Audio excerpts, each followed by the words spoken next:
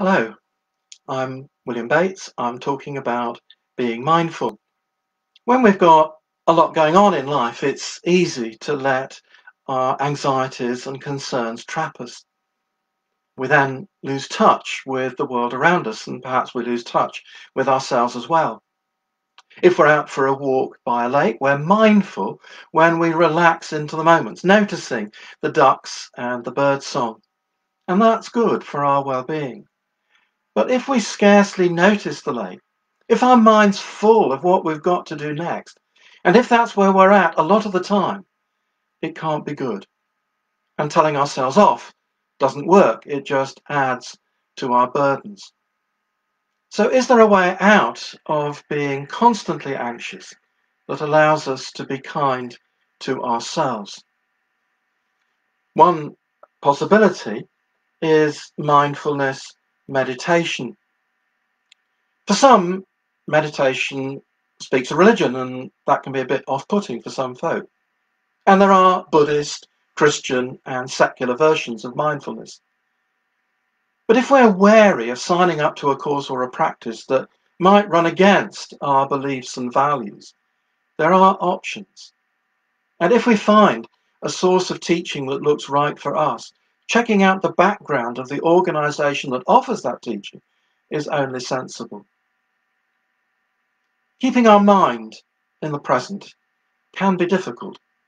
Our body's in the present, but our mind may brood on past hurts or worry about the future. Mindfulness meditation helps us shift our thinking to appreciate what we're doing here and now. What about the effects of mindfulness? Meditation isn't always appropriate. I mean, if you feel distraught and unable to cope, meditation could prove unpleasant. But generally, it reduces stress and anxiety. It doesn't get rid of them. It makes us more aware of our feelings so we can handle them in a calmer way. And that helps us enjoy life and cope with difficulties and connect with others and engage with what we're doing. So, how can we be more mindful? I've mentioned courses, but we can try it informally by noticing what our senses are telling us. Eating an apple mindfully, we notice its colour and taste and crunchiness. We're not just using it to fill a hole, we're enjoying it. When I did Pilates, I learned to be more aware of my body and my posture, and that helped sort out my aches and pains. Often we have to multitask, but having things in our day we enjoy helps us keep perspective.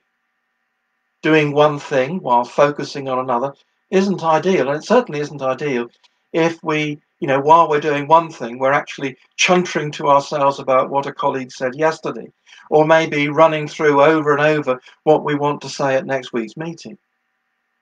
Being mindful helps us focus on the task of the moment.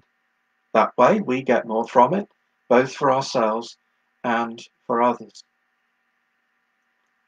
So that's it from me. I, I know I haven't done mindfulness justice, but if I've given the impression it's worth considering, that's a start. Farewell, and God bless.